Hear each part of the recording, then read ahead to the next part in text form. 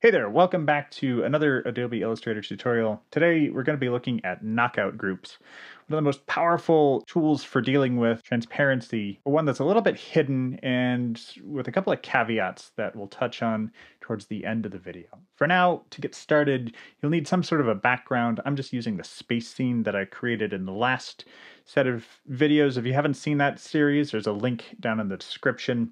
For this though, I'm just going to start off with a new blank layer. You'll notice too, I've also got all of the background layers locked so I don't accidentally select them. We'll name our new layer knockout layer. And I'm just gonna create a rectangle that fills the entire artboard.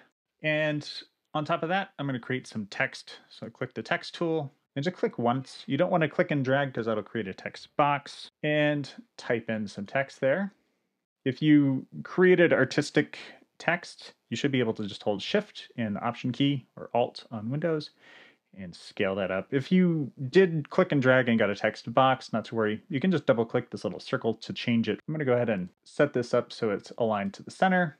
And then I'm also going to use my horizontal and vertical align centers. For fonts, I'm using Futura PT Bold, and this came out to about 167 points.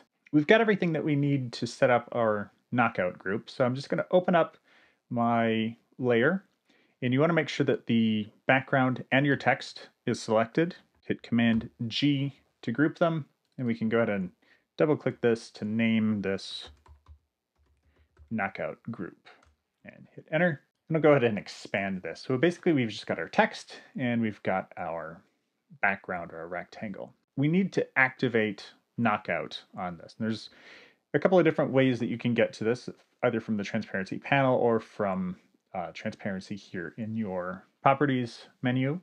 If you go into properties and just click on opacity, you should see knockout group right here. And it's got a little dash in it. We'll click it once to turn that on and nothing happened. And we'll see why in just a second. But real quickly, I want to point out that if you go to the transparency panel, you may not see this. By default, this transparency panel is actually collapsed. So if you go to look for your knockout group controls, you're not going to find them. You literally have to click this little arrow twice to be able to get to the knockout group controls where you can see that's checked and actually active. So go ahead and collapse that. Now to see this in effect, what we need is for part of this group, or at least one object on this group to have some opacity. And the way this works is that it applies the opacity from one object to everything else in the group. I'm going to select just the text. So double click on this. So we've got just the text active and then go over to its opacity and set that down to zero. And I'm going to double click now anywhere in this gray space to get out of isolation mode. And we can see that we're, we're basically just seeing straight through that text. So it's essentially knocking out everything in the the layer.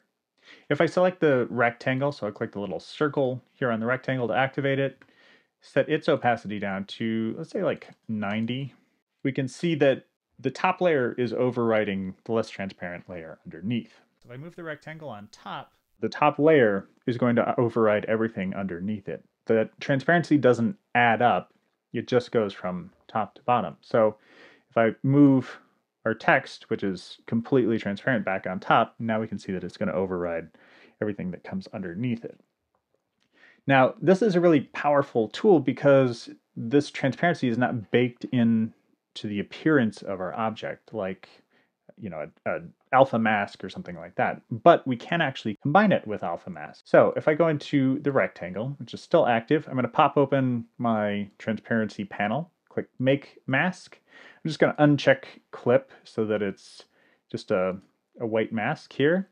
And I'm going to click on the mask so it's active. We should in the layers panel see that we're just in opacity mask. Go over to my primitives. I'm going to grab an ellipse and just from roughly about in the center of this planet, holding the option and shift key, drag that out so it kind of covers the planet. I'm going to hold spacebar to reposition this a little bit so it's more centered up with the planet and then just drag that out. Now if I set this to black, since we're on the, the transparency mask, that's going to make this completely transparent. So we'll go into the fill color, we'll set it to black, and now we can see through it completely. Click out of this to get out of the group, and I'm just going to uncheck the chain link here so that I can scale this rectangle without affecting the circle. We can bring this in just a little bit like that.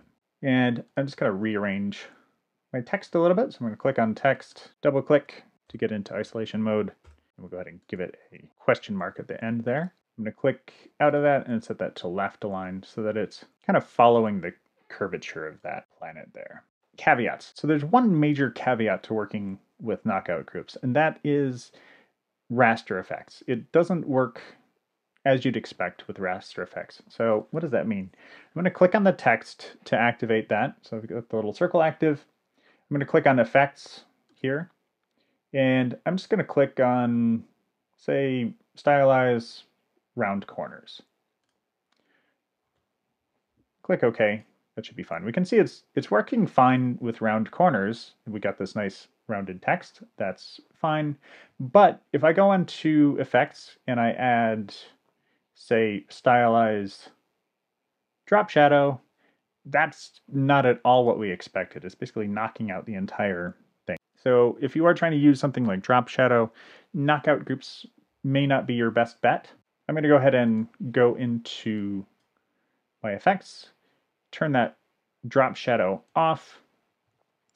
And actually, I'm going to go ahead and turn off rounded corners. I kind of liked it better without that rounded corners.